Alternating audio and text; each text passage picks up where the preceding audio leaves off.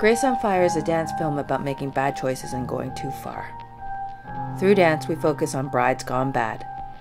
We've all heard of bridezillas and some of the unlovely things they do.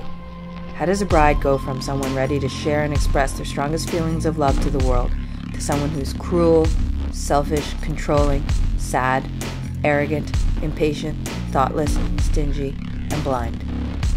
We're building a dance film to express this transformation of a bride to bridezilla and the emotions that arise from the pressure, stress, and expectations of being a modern bride and planning a wedding, using a mixed style of classical, contemporary, and street dance.